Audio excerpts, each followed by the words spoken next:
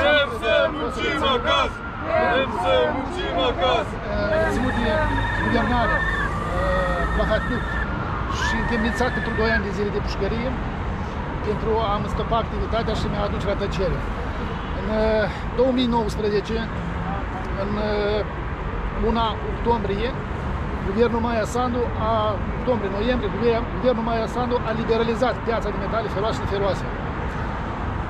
Perioada aceasta am început a activa, a exporta metal în țările Uniunii Europene și în Turcia, inclusiv în portul internațional Giurgiulești, ceea ce am făcut în premiera Republica Moldova.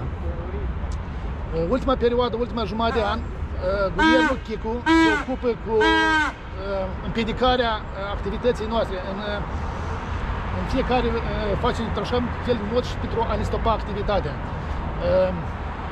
O face asta pentru a favoriza companiile de stat metal feros de unde se finanțează toate partidele de guvernare și regimurile criminale. Cui aparține acum Metal Feroz? Acum aparține statului. Formal. Formal statului, dar informal conduce este Partidul Socialiștilor, care este și nu e secret, toți știm că acolo este Sergiu Catanu, nașul lui președintelui Igor Dodon și este condus de Andronache. Vladimir Andronache, deputat în Parlamentul Republicii Moldova. Dar între Andronache și directorul companiei Metal Feros este așa persoană ca Victor Chiriac, fostul director la Metal Feros în perioada 2014-2017. 2009-2014. După cum ați observat din, din mass media, la ședința guvernului de data trecută, de săptămâna trecută,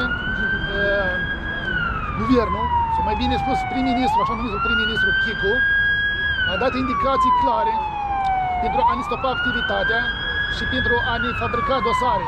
Cu atât mai mult, ministrul de interne se laudă în, în ședință de guvern, deja am două dosare fabricate. Dosare deschise, hai spunem fabricate. Noi deținem de informații că este atât dosar, dosar penal fabricat la Centrul Național Anticorupție, care trebuia, dacă am scăpat vineri sau astăzi, deja cred că după alegerile voi fi reținut. Pentru motivul este fabricarea, nu știu, dosarelor din aer, din cosmos. Cred că au găsit iar un gard în Moldova construit ilegal și l-au pus tot mie. Și, și a dat niște indicații clare.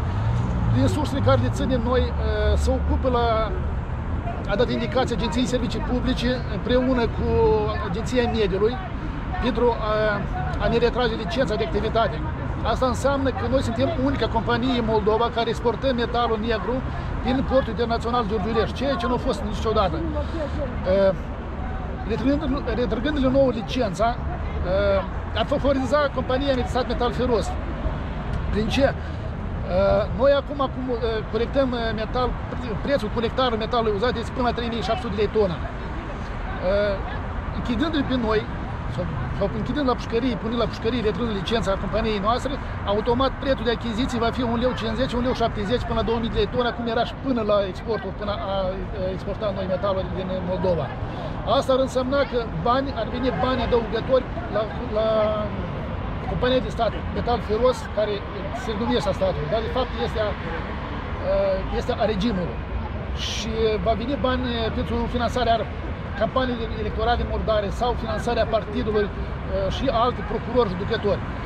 Ceea ce socotim noi că acest guvern, acest prim-ministru nu este demn de a conduce așa țară, deoarece el se ocupă direct cu indicații pentru fabricarea dosarului, stoparea activităților. Cu atât mai mult, noi în perioada pandemiei, noi nu am uh, eliberat cetățenii sau angajați, dar din contră noi am creat alte locuri de muncă. Cu atât mai mult, în zonele rurale, ceea ce nu face nimeni.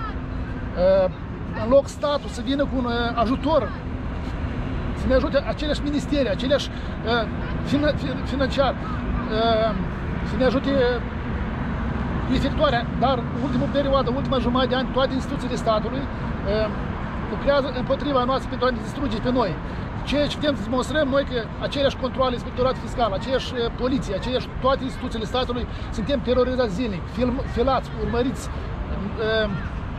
Noi, cred, noi credem că sunt, nu credem că sunt întors, dar deja trece linia roșie care mai putem activa. de ce sume este vorba? Iată oamenii simpli și trebuie să înțeleagă. Cam cât mă prejudicează pe mine personal metal ferosul ăsta? Uh, Cât da, se exportă? Cât se pierde la tonă? Ca să știu, un calcul elementar, iată, Haideți un calcul elementar. Aproximativ 25.000 de tone se exportă de metal lunar din uh, Republica Moldova. oho, Uh, Noi, uh, exportând o parte din cantitatea asta, ei deja nu au venit cel care au. Cu atât mai mult, noi uh, ridicăm prețul la achiziție, uh, banii aceștia noi achităm cetățenilor Republicii Moldova. Noi achităm uh, uh, Nu se duc în buzunarele- Da, nu se duc în buzunarele lor, dar se duc la cetățeni. Aceeași diferență de 1500-2000 de la tonă.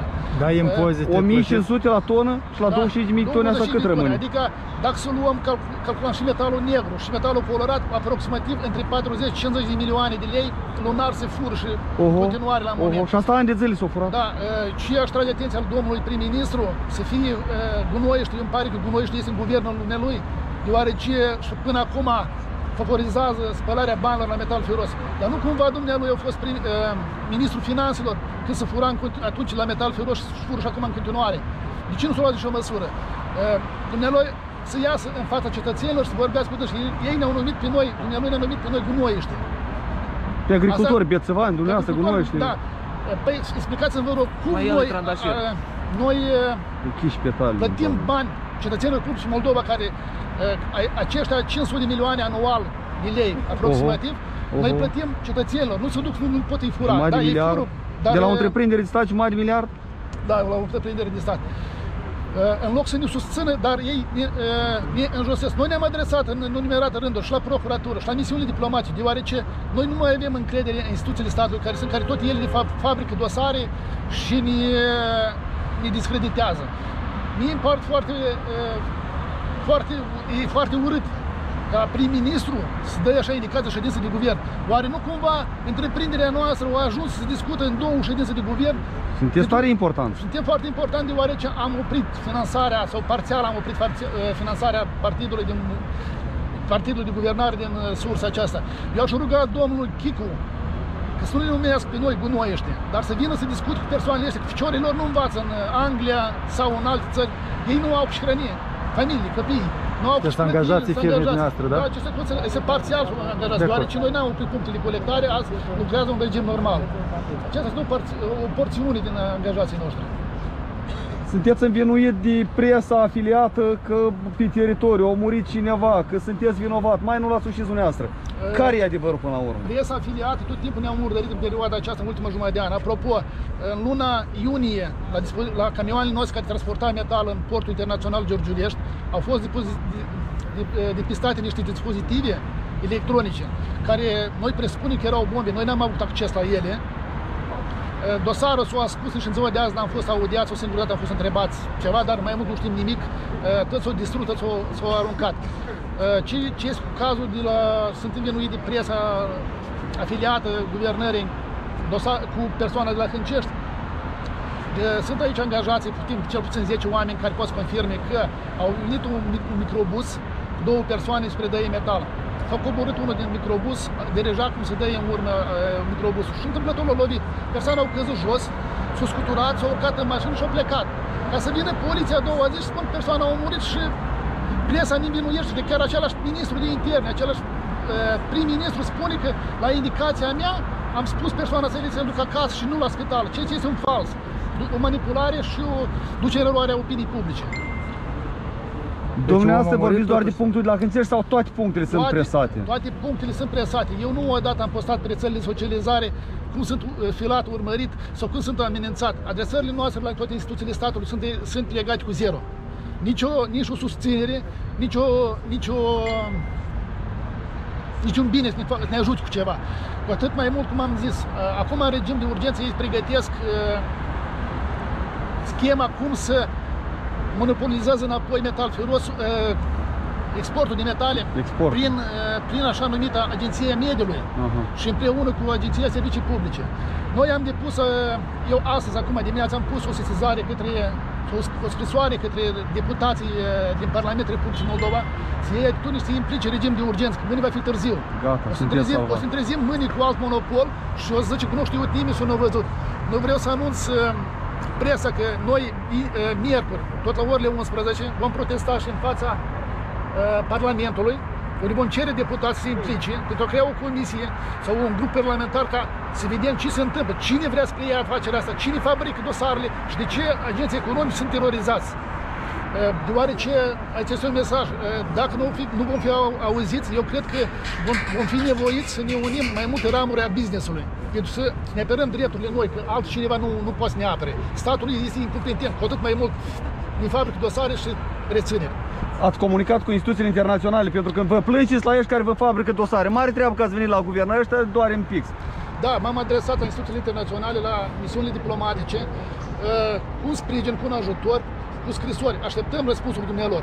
Păi dacă rămâne cu liocul înseamnă că dumneavoastră trebuie să iar închis, iar la pușcărie. Că ăsta nu Păi, sănătos. nu- El până la Culioc, eu după cum știam din, din surse sigure, trebuia vineri să fiu reținut.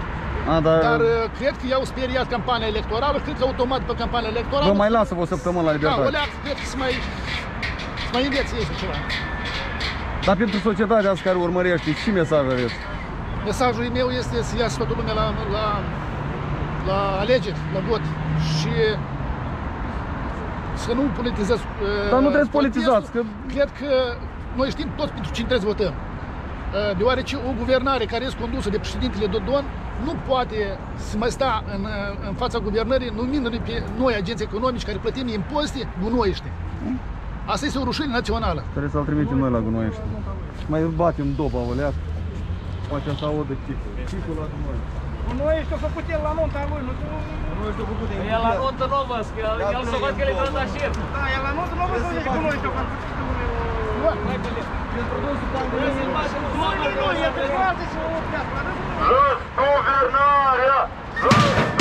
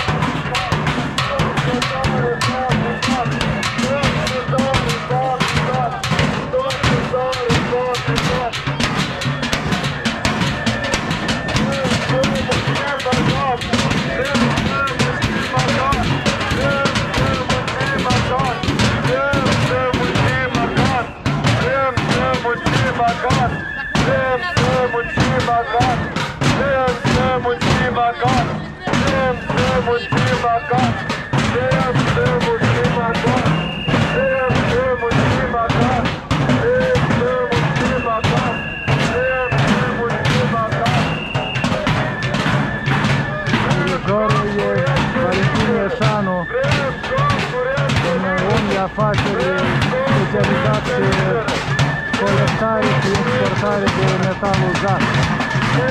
Omul spune că actuala guvernare și fostele guvernări încearcă din nou să monopolizeze afacerea asta. Fac concurență neloială, le-au deschis lui dosare penale și zice că în zilele următoare e posibil să fie arestat. Zice că nimic din ce eminează guvernarea nu e adevărat și de fapt se încearcă lichidarea concurenței ca să scadă prețul de colectare a metalelor uzate.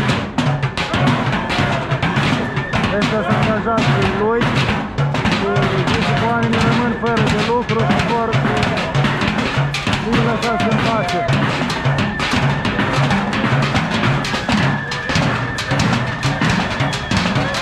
Mass media nu prea asistă la asta procese, mass media înregimentată politic, nici cea de stat. Iată vin uh, reporteri amatori ca Maria Olaria, cum îl cheamă băiatul cel Reșanu, Vasile Costiuc de la Democrația Acasă.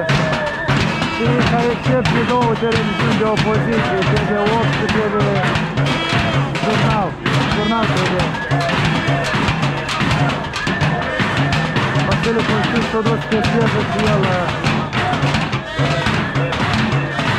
Măciuca.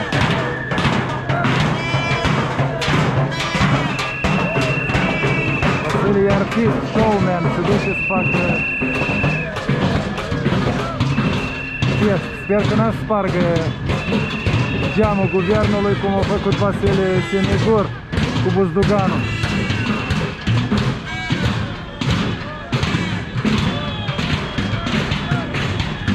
Are vreo mii de spectatori live și face spectacol pentru ei.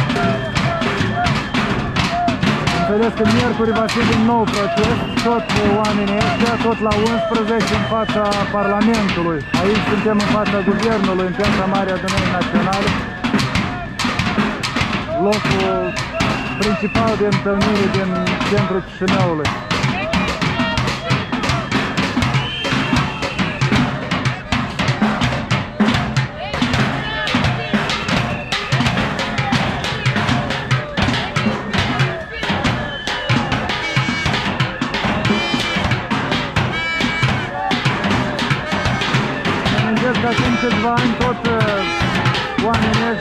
Încercat să instaleze corpuri aici în uh, piața Mare Adunării Naționale, se numeau procesul cel la Moldo-Maidan și au intervenit organele în forță și le-au luat uh, sporturile, mâncarea, tot ce aveau, chiar dacă legea le permite. La noi în Moldova avem legi foarte permisive despre proteste. Dar dacă nu-i convine guvernării, calcă printre drepturi și este lege, și iată, eram în viață și am documentat cazul acela.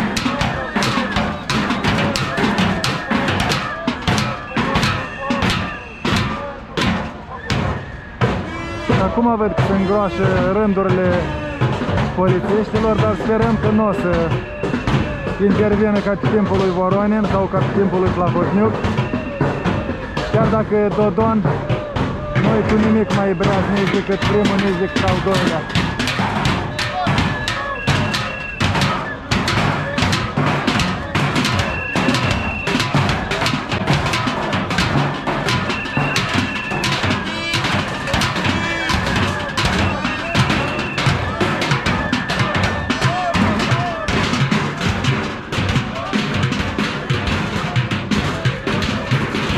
Polițiștii ăștia cam aceea de timpul lui Voronin, de 10, de 20 de ani, de tot cu ei aici în fața guvernului, în fața parlamentului.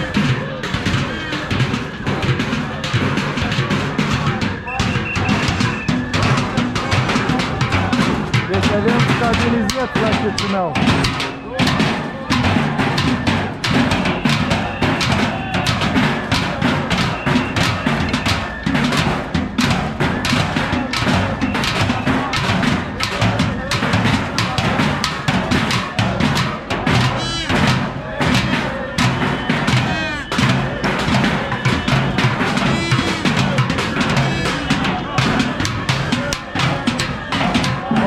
cu mătura și iau tot să lase urme metalele astea ale lor.